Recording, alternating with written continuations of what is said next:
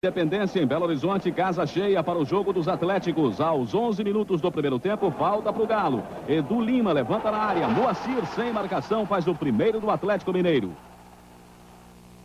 No segundo tempo, cruzamento na direita, na bobeira da defesa do Atlético Paranaense, o estreante Edu faz 2 a 0 para o Atlético da casa e define o placar em Belo Horizonte.